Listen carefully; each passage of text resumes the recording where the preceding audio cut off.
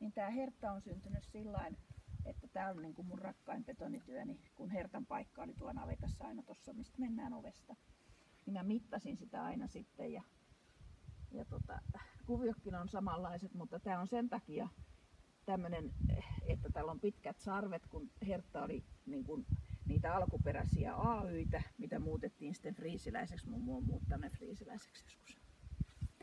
Eli tuota, teillä luovuttiin lehmistä sitten vuonna 2004. 2004. Ja Hertta sai sitten patsaan olomuodon. Niin.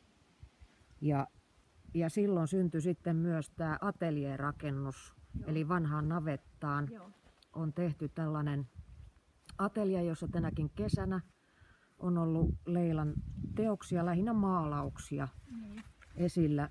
Ja sitten jos me tästä kuljetaan vähän märän pihamaan läpi ja mennään katsomaan toista betonista veistosta, joka on nimeltään Rotunainen. Okei. Okay.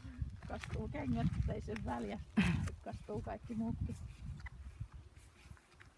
Ja toi teksti on syntynyt sillä että, että tota, toi naapurin isäntä aina kertoo niitä alapääjuttuja, niin toi sen takia toi teksti. Mennään kurkkaamaan tekstiä, eli rotunainen on tässä, tämä upea veistos.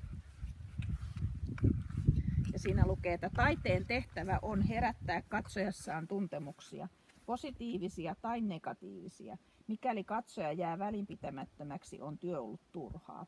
Tarkoittaa sitä, mä oon sanonut lapsillekin aina, että se tarkoittaa sitä, että jos sä käyt taidenäyttelyssä ja sulle ei jää jotain mitään mieleen sieltä, niin silloin se on ollut ihan turha se reissu.